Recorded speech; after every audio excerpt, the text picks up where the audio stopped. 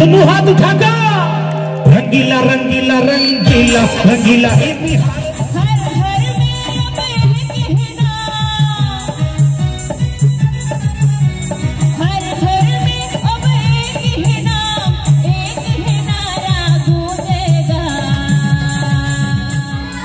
Kandivali Thakur complex स्थित राजीव गांधी मैदान में एक सौ ग्यारहवें बिहार स्थापना दिवस का शानदार आयोजन संपन्न हुआ, जिसमें पहली बार बिहार समाज और बिहार के लिए श्रेष्ठ योगदान देने वाले दो महान विभूतियों का यहाँ स्वागत किया गया।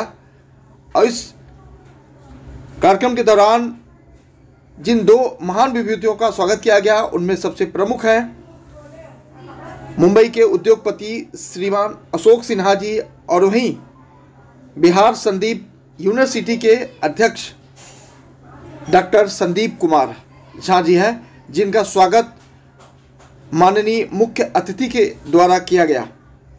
क्या कुछ कहती है? इस आयोजन की तस्वीरें आइए आपको दिखाते हैं और सुनाते हैं, लेकिन काफ़ी बड़ी संख्या में यहाँ महिला पुरुष बिहार समाज से जुड़े हुए तमाम नेतागण यहाँ मौजूद रहे और सबका शानदार और भव्य स्वागत किया गया।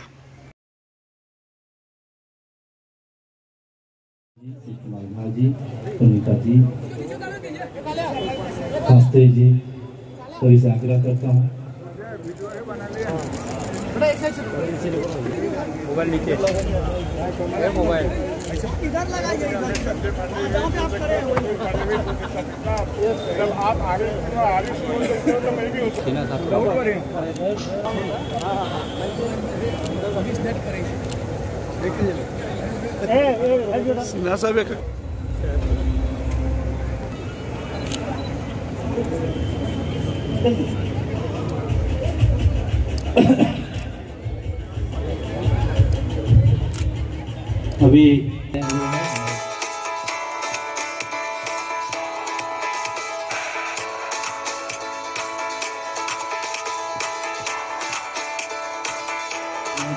अपने सर सर। महाराष्ट्र की धरती पे आकर के और हमारे समाज को सम्मानित किया है। मेरे बहुत बहुत धन्यवाद। आग्रह करता हूँ उनका सम्मान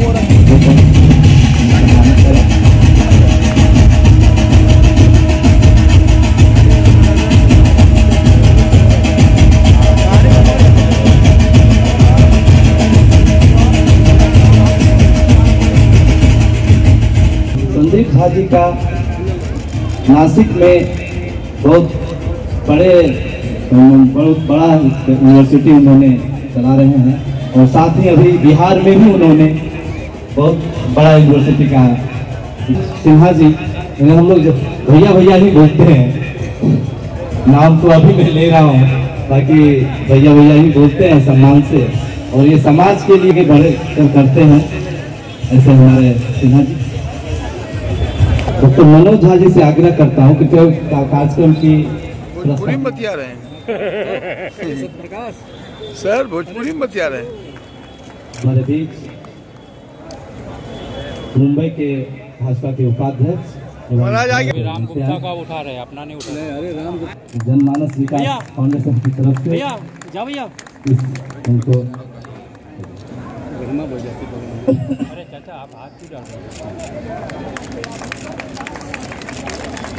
हो गलत होता जी इन सभी मिलकर हमारे अध्यक्ष जी का स्वागत करेंगे।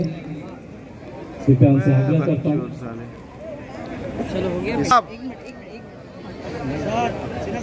सिन्हा साहब इधर इधर।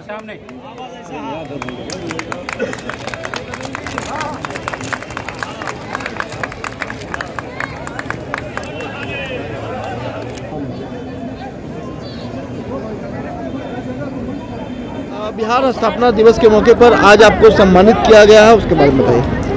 भाई ऐसा है कि जो मैं समाज के लिए जो भी छोटे मोटे कार्य करता हूँ और अपने समाज के साथ उनके सुख दुख में खड़ा रहता हूँ उसी वजह से समाज के लोगों ने मुझे सम्मानित किया है। आज के कार्यक्रम के बारे में बताइए किस तरह का कार्यक्रम देखिए आज का जो कार्यक्रम है बिहार दिवस स्थापना दिवस के उपलक्ष्य में मनाया गया जो कि एक सौ स्थापना दिवस है।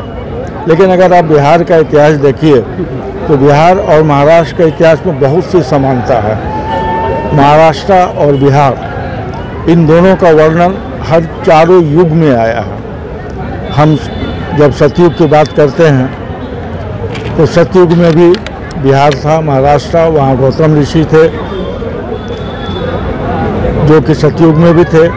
जब राम का जन्म हुआ त्रेता में तब भी भी थे।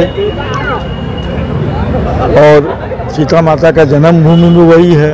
बिहार से गौतम बुद्ध भगवान महावीर इन सब का जन्म पुण्य शुरू हुआ। लेकिन बिहारी लोग जहाँ भी जिस स्टेट में भी गए उसे अपना समझ करके वहाँ उन्होंने काम किया और लोग आगे बढ़े और मेरी ये शुभकामना है। इसी तरह वहाँ के सब लोग आगे बढ़ते रहे। मुंबई में बिहार समाज के लाखों लोग रहते हैं लेकिन आज इस मंच पर सिर्फ़ दो लोगों का सम्मान किया गया। जो महान विभूतियों में गिना जाएगा इस तरह का वक्तव्य दिया भाई देखिए जो भी व्यक्ति एक काम करेगा ये सम्मान की शुरुआत इसी साल शुरू हुआ है। इस बार दो व्यक्तियों को सेलेक्ट किया गया चुना गया और उन्हें सम्मानित किया गया। ताकि समाज में ये मैसेज जाए कि लोग समाज के लिए कुछ कार्य करें तो उनको भी अगले साल हर साल दो व्यक्तियों का सम्मानित किया जाएगा।